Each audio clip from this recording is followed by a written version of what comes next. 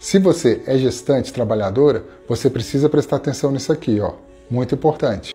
O STF decidiu que nos casos em que a internação se der por mais de duas semanas no hospital, o marco inicial, ou seja, o início para o pagamento da licença maternidade, deve contar da alta da mãe ou do bebê, o que ocorrer por último. E assim aumentou o período, o tempo de convivência entre as mães e seus filhos, porque a partir da última alta do bebê ou da mãe é que começa a contar os dias da licença maternidade, que geralmente são de 120 dias.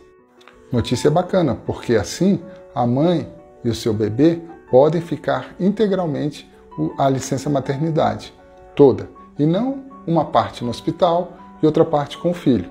Agora, o bebê e a mãe ficam juntos desde o início da licença maternidade que começa só depois da alta do último, ou seja, ou do bebê ou da mãe.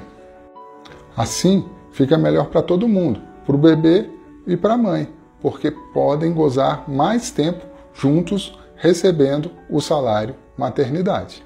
E você é gestante, trabalhadora? Se for, já curte o vídeo. Se você conhecer alguém que seja gestante, trabalhadora, já compartilhe o vídeo. E para saber mais sobre seus direitos e direitos desse tipo, já segue o canal, tá bom? Muito obrigado e até a próxima, pessoal.